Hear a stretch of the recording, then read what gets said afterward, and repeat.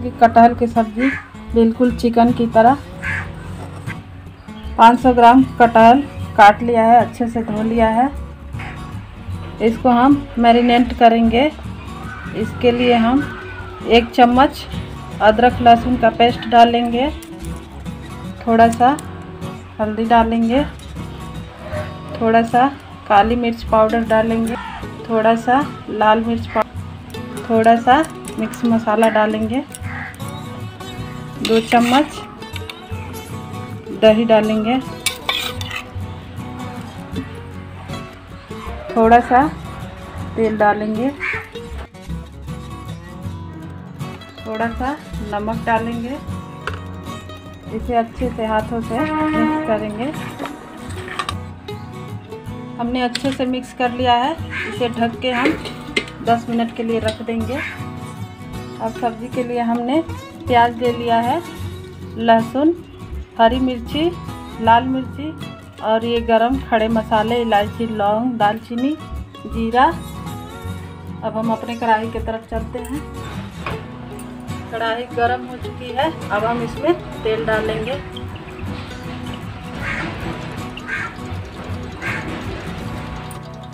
तेल गर्म हो चुका है, हम इसमें जीरा डालेंगे।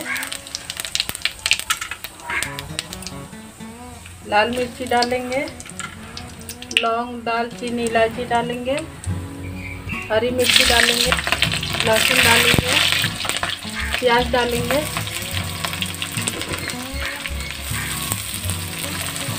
इसे हम गोल्डन ब्राउन होने तक भूनेंगे। हमारा प्याज अच्छे से गोल्डन ब्राउन हो चुका है। अब इसमें हम लहसुन अदरक का पेस्ट डालेंगे। लहसुन बहुत ज़्यादा लेना है। तभी हमारा सब्ज़ी टेस्टी बनेगा।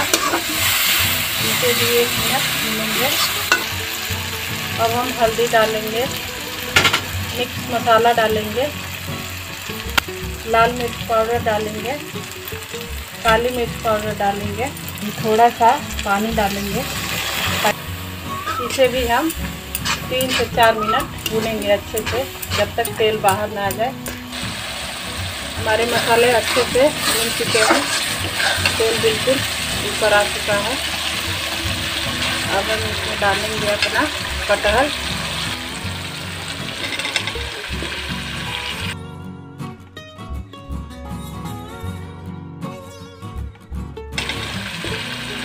कटहल भी अच्छे से सेट हो चुका है।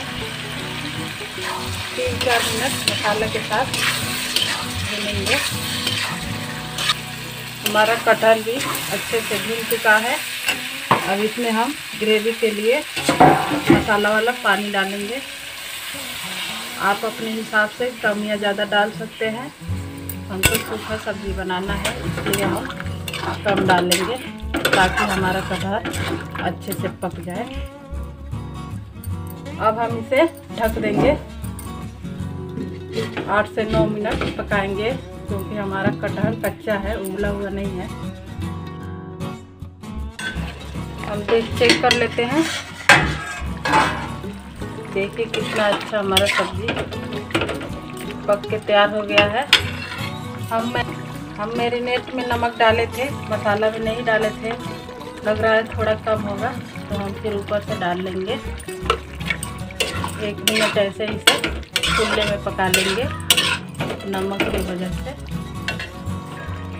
एक मिनट हो चुका है, हमारा सब्ज़ी पक चुका है। हम चेक कर लेते हैं। देखिए, हमारा सब्ज़ी बिल्कुल तैयार है। अब हम गैस को बंद कर देंगे। देखिए, हमारा बिल्कुल चिकन के जैसे सब्ज़ी तैयार हो गया है कटहल का। आप भी खाइए, बनाइए।